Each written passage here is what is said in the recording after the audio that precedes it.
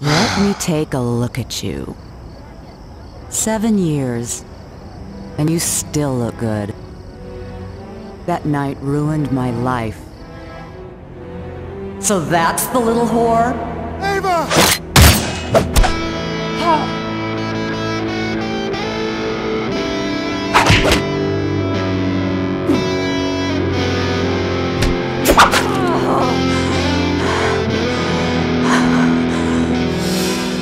You may have been the one to cut me, but it was Cesar who tossed me aside as if I were dirt.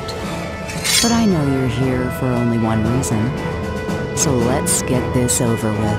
Ah!